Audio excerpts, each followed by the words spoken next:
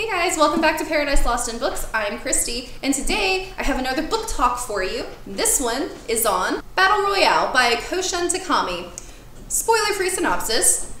This is a book that has been compared to The Hunger Games a lot, but this book came first. The premise is that in the future, the government of Japan is very fascist, has a very strong control over its citizens, and there's this program where a group of freshmen every year is taken and enrolled in the program, and they're kind of like an experiment. The government watches them fight to the death, and it doesn't ever really explain how they use that information, but theoretically, it's used somehow. This book follows a program where we follow one main character, but we see from the perspective of almost every other student, and it's I won't spoil the ending, but it's definitely different. It's very violent, it's very critical of government, and it's very exciting read. So if you don't mind violence and you have a problem with the government, you'll probably enjoy this book. I'm going to get into some specifics about the story now, so if you don't want to be spoiled, go read this book. It's kind of long, might take you a while, but that's okay. Come back when you finish and we will have a spoilery discussion on this book. All right, first let's talk about the things that I liked. This book is so violent. Not that I like violence, but I think that with the message this book is trying to send, the violence really adds a layer to that message. Whereas with The Hunger Games, which is frequently compared to this book, you still get the government message, but I feel like some of the cruelty is lost when the most brutal death we ever see in the book is, well, I won't say anything in case anyone watching hasn't read The Hunger Games or seen the movies. But it's definitely not as violent as, you know, a hatchet to the face or being mowed down by a machine gun. We never see anything that brutal in the Hunger Games, which is fine because it's for more of a YA audience. But I'm just saying that I think that the violence really adds something to this book. It makes what they're doing seem more horrific, and it really gets more into the psyche of what are people willing to do when their lives are on the line. I thought that the violence kind of made that more apparent and really added another layer to the political commentary and psychological commentary that this book was trying to make. Speaking of commentary, I do want to say that I think the teenagers were really realistic. We kind of saw a gamut of different reactions to being put in this situation. You have the teenagers who died early because they didn't really take it seriously, like the girl who was whispering and got a knife to the forehead. You have the naive ones who think surely no one else is gonna like start killing their classmates. That's ridiculous. And then they get mowed down by the ones who are taking it seriously. then you have like the reluctant ones who don't want to believe it, but they still want to protect themselves. And then you have the sociopathic, emotionless, crazy killer who doesn't give a shit and is just gonna kill everybody because why shouldn't he? So you get a wide range of approaches and a wide range of stories with these teenagers. And I thought it was really interesting to just see so many different reactions. There was betrayal. Like, I felt really bad for the ones who were friends with the sociopathic one because they were, well, most of them, except for a couple that were smart, were like, oh, you know, I'll go hang out with him and he'll protect me because he's really strong. And then, and then he killed them.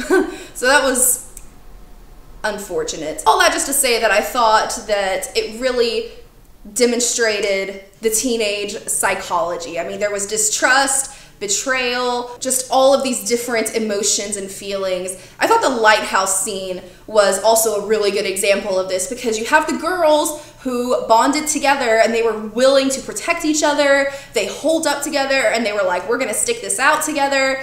And then one girl gets suspicious of Shuya, who is like the main one that we follow, and accidentally kills one of the other girls, and then it all goes to shit, and there's no trust anymore, and they all start killing each other. I just thought it was really interesting to see the psychological process that these different characters go through as they're trying to decide, like, should I kill this person? Do I trust this person?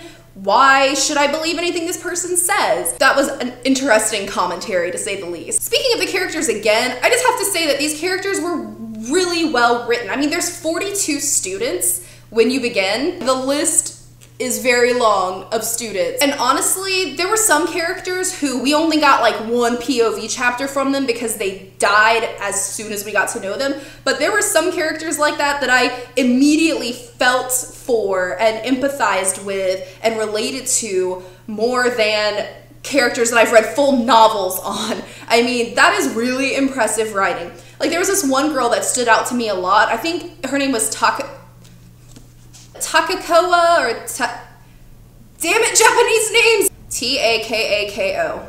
There was only like one or two short chapters, but the way that she told her story, her backstory, just all of these different things made me really root for her when this douche guy came up and was like, hey, let's have sex because why not? We're gonna die. And then she like gouges his eyes out. And then when she gets killed, it was just like, ah, oh, dang, like you know they're all gonna die except for like the main character, but still, I got really attached to some of these more minor characters who didn't stick around very long. So I just thought it was excellent character development on the part of the author. One other key difference from the Hunger Games here, even though we have the boy-girl duo with Shuya and Noriko, we also have a third character, Shogo. And Shogo has survived a program before. So that adds a whole nother aspect that really changes the game because the whole time it's like, can we really trust Shogo? Is he just looking out for himself?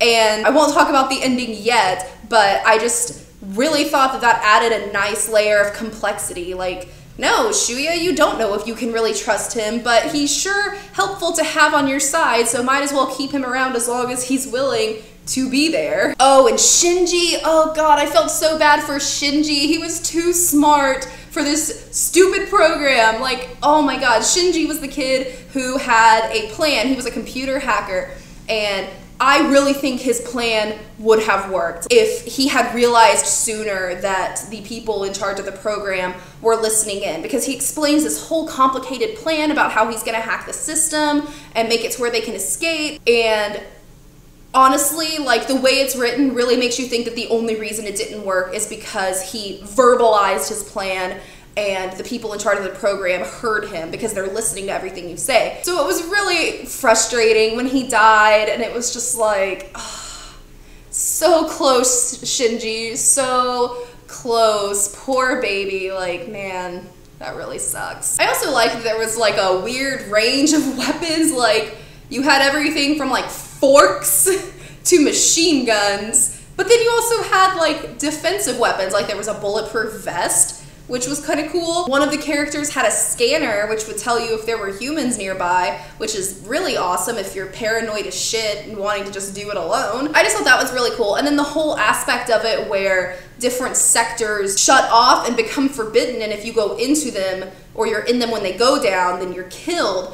I thought that was an interesting twist too. And the Hunger Games kind of played with that idea a little bit in um, Catching Fire with the whole clock arena, which was kind of a more sophisticated version of this because this one is just like a grid and just like A6 would go down, C3 would go down. I thought that was an interesting element to have in the program because it forces them to come together and makes it more tense the longer the game goes on because they're being forced to inhabit smaller and smaller areas of the island. Moving back to talking about the political aspect of this book, I really would rank this book in the same category of political commentary as like 1984, Animal Farm, books like that, Brave New World, because this makes a very strong statement on governments who try to seize control by taking things away from the populace. I mean, in this world, you know, rock music is not allowed. Like Shuya is super into rock music and that's not allowed.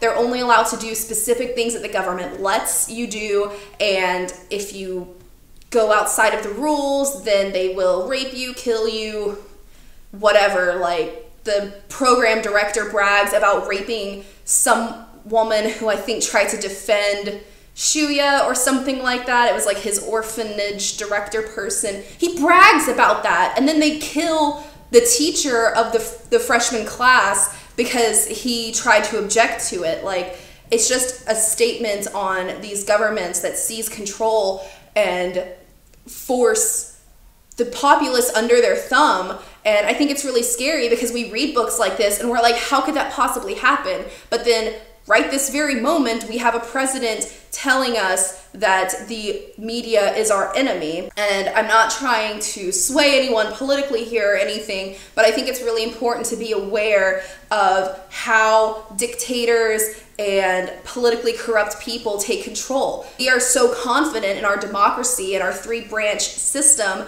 that we are complacent. And I think there's a huge message in this book against complacency. Characters do manage to get off the island Shuya, Noriko, and Shogo. And it's because they refuse to be complacent. They refuse to take part in this narrative that the government has set before them and told them this is how your life has to be. And I just think that this book was years ahead of its time because evil rulers, so to speak, don't get their start by starting out with holocausts. You know, it's kind of the same idea as an abusive relationship. If you've ever known anyone in an abusive relationship, which I have, it doesn't start with getting hit in the face. It starts with gifts. It starts with earning your trust. It starts with getting your hooks into someone and then you slap them and then you say oh my god i'm so sorry i didn't mean for that to happen. And then a slap every now and then turns into a punch turns into strangling. Like it's a progression and it happens politically too. Like hitler didn't start with the holocaust. He started with germany is broken after the world war and we need to fix it. We need to change what's going on in Germany. And these are the people who are responsible for Germany being in the shit situation that it's in now. And he turned people's fear and uncertainty against them. I'm kind of going off on a tangent now, but all of that is addressed in this book. We don't see the rise of the government, we are dropped right in the middle of it, but the way that the characters talk about like their lives, living in Japan under this government, it's very clear that that's what's happened here. The populace got complacent and kind of let the government just do whatever they wanted and now they can't even choose the type of music they want to listen to. And again, I know it sounds ridiculous. To us, dystopia is just another genre. But there are countries where this is their real life. North Korea, anyone. I was just very intrigued by the political commentary in this book, and it got me thinking a lot. There's not much I didn't like about this book, but let's move into that side of things before I start going off on a tangent again. First of all, I didn't really understand why everyone had such a strong opinion on Shuya. Like, I know Shuya is the main character. It's kind of like The Call when I talked about how it was third person and we see from multiple perspectives, but there's still that one main character that you return to time and time again. And for Battle Royale, that was Shuya. But every time we saw another character's perspective, like so many different girls had a crush on him, so many different guys had opinions on him one way or the other, and it was just kind of weird. I didn't need for the other characters to feel a certain way about Shuya to get that he was the main character.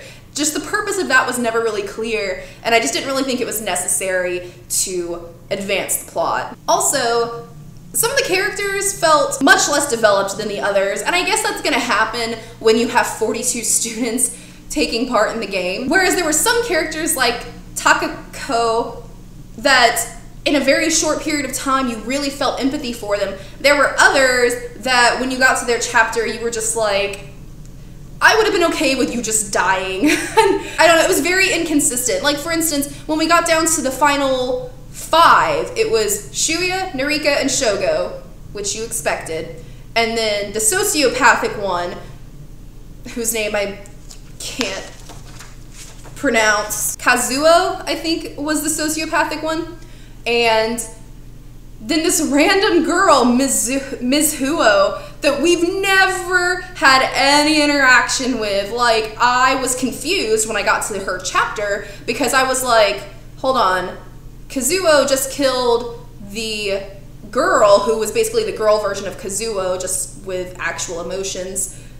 And Shuya's around, and Shogo and Noriko. Who's the last person? And then her chapter came up, and I was like, I don't remember you at all. And her story was very pointless. Like, we got a little bit of her backstory and then she died. So it was just a little inconsistent. And again, I understand there were a lot of characters. We couldn't get a fully developed backstory on each one, but I kind of wish that some of the ones that were less well developed had just died off page. Like I didn't feel like we needed to get inside the head of every single character. And I mean we didn't. There were some that we only experienced them through the eyes of another character and then like both of them die. Like Takakoa and the guy who basically tries to rape her. We never see from his perspective, but we still kind of get to know him through her interaction with him. But some of them, like Mizuho, would have been better off if we had maybe seen her from Kazuo's point of view and just him killing her because her story was so unimportant and unnecessary to finishing the book. Oh, I didn't talk about the ending yet. Oh, crap. So the ending. I liked the ending. This isn't a dislike. I just forgot to talk about it. Ending, I thought was really good. Predictable if you read a lot of books frequently because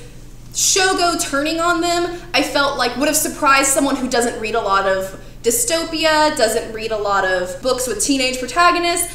But I mean, I kind of expected that they were going to pull some kind of trick. And they do. Shogo pretends that he's killed them, he removes their tracker, they escape on the boat, and Shogo ends up dying on the boat, which was really sad. Like, I was hoping that he would stick around. I didn't expect for him to die on the boat, but, you know, and then it ends up just being Shuya and Noriko, and then we don't really see what happens after that. I mean, it's a little bit of a hopeless tone at the end because the general idea is that they are fleeing Japan and they're trying to start over. So it's nice that it wasn't a trope and it wasn't like, oh yeah, they destroyed the government or whatever, but it was also just kind of sad because it was like, yes, they got away and they're probably going to start their lives over somewhere else, but everyone else in Japan is still going to suffer. Like they dealt a huge blow to the government, but like what's stopping them from just replacing all the people that Shuya, Noriko, and Shogo killed, like the program director and everyone, and just continuing to do it. They did something for themselves, but they didn't really do anything for their country. And I guess they're not obligated to, if you really think about it. You're not obligated to do something for the country, but I don't know. I guess I was just hoping for more. Alright guys, that is it for my book talk on Battle Royale by Koushun Takami. Overall, I gave this book four and a half out of five stars. Five stars on Goodreads since she can't do half stars. I had a few minor issues with it, and sometimes the pacing seemed to drag. Some of those extra characters felt unnecessary, but overall, the action scenes were vivid and really well written. The characters were intriguing, and the commentary that it makes politically is super insightful and fascinating to read and it really got me thinking. Not only was it exciting like an action movie it was also kind of a psychological thriller. So i would highly recommend this book and i do hope you will pick it up and read it and let me know in the comments below what you thought of this book. Alright guys if you enjoyed this video i would really appreciate if you give it a thumbs up and subscribe to my channel. Until next time bye